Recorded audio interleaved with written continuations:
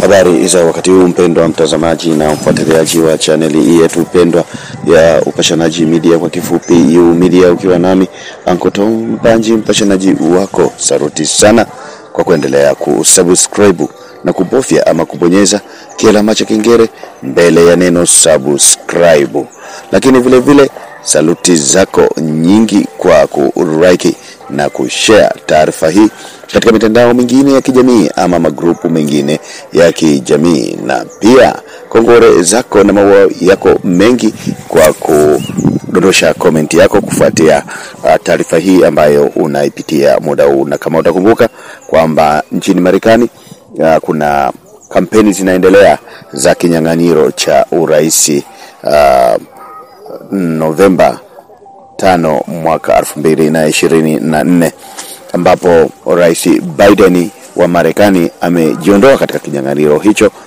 baada ya chama chake kumtaka kufanya hivyo na kumwachia makamu wake wa rais uh, Harris Kamara kuweza kupambana na mgombea wa chama cha Republican kwa tiketi ya urais Donald Trump na taarifa ambayo tunayo kwa sasa ni kwamba Donald Trump na Kamala Harris wamekubaliana uh, kwamba mdahalo wa Septemba kumi kupitia mtandao wa ABC ambao umeanzisha mpambano huo wa kwanza kati ya wagombea hao wa kinyang'anyiro cha urais wa Marekani baada ya Rais Biden kutakiwa kujitoa katika mbio hizo. Hapo awali rais wa zamani wa Marekani Donald Trump alifanya mkutano na wanahabari, mkutano ambao hadimu sana katika makazi yake ya Mar-a-Lago huko Palm Beach, Florida.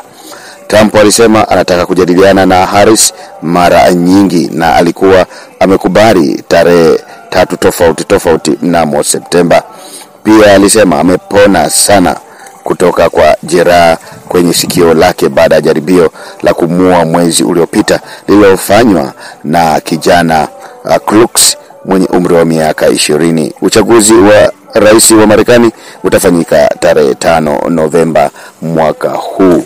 Na mpendwa mtazamaji na mfuatiliaji wa chaneli yetu pendwa ya Upashanaji Media, kwa kifupi U Media, endelea kusubscribe na kubofya kialama cha kengele mbele ya neno subscribe, kulike, kushare taarifa hii katika mitandao mingine ya kijamii, lakini vilevile vile kuacha komenti yako kufuatia taarifa hii ambayo unaipitia.